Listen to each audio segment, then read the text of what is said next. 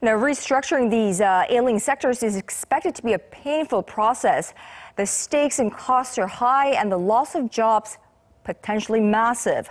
To help us better understand why it's deemed necessary, our Kwon Jang-ho zooms in on the stark reality faced by many Korean industries.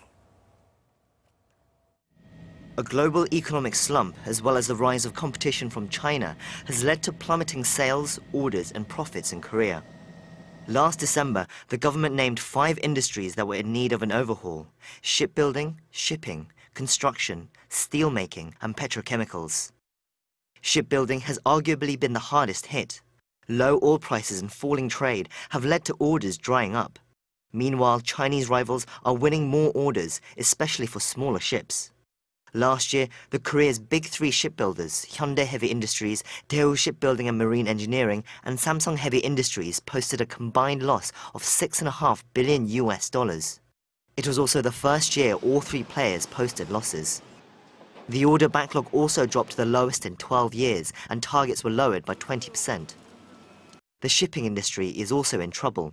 Korea's number one and two, Hanjin Shipping and Hyundai Merchant Marine, have both had to seek debt settlement agreements with creditors after amassing a combined debt of $9 billion.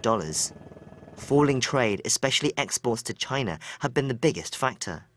Korea's imports and exports have posted negative growth every month since the beginning of 2015. A shake-up in the global shipping industry, with the world's biggest shippers forming new alliances, is causing further uncertainty. Operating margins for the steelmaking and petrochemical industries have been relatively healthy, but production for both continue to decrease as cheaper steel from China and low oil prices have decreased their demand. Construction is the only one that has seen growth in recent years. The government knows that time is of the essence to save these struggling industries. The country's economy relies on them. It's looking to push through with the restructuring before political burdens start to mount ahead of next year's presidential election. 권장우 아리랑 뉴스.